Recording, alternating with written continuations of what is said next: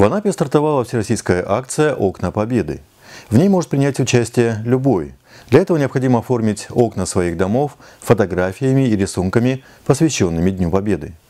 К флешмобу присоединились и образовательные учреждения курорта. Акция проходит также и в интернете. Все подробности знает Руслан Душевский.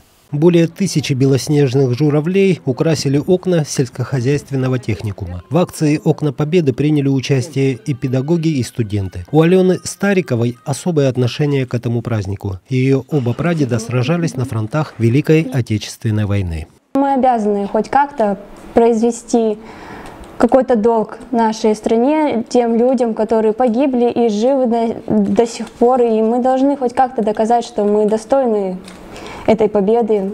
И карантин – это не помеха как бы никак, мы должны все равно помогать, вне зависимости с карантином или нет.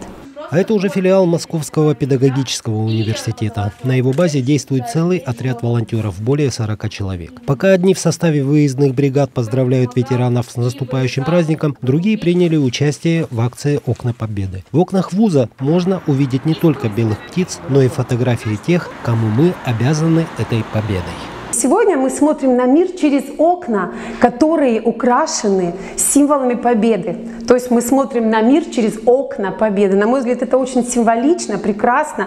И мне кажется, что все должны присоединиться к этой акции. Уверена, что большинство окон в Анапе будет украшено к 9 мая. И мы тем самым будем говорить тысячу, миллион раз спасибо нашим ветеранам. Принять участие в акции может любой и таким образом почтить память героев Великой Отечественной войны, не нарушая режим карантина. Этот проект существует и в онлайне. Для этого необходимо сделать фотографии оформленных окон и выложить их в социальные сети с хэштегом «Окна Победы».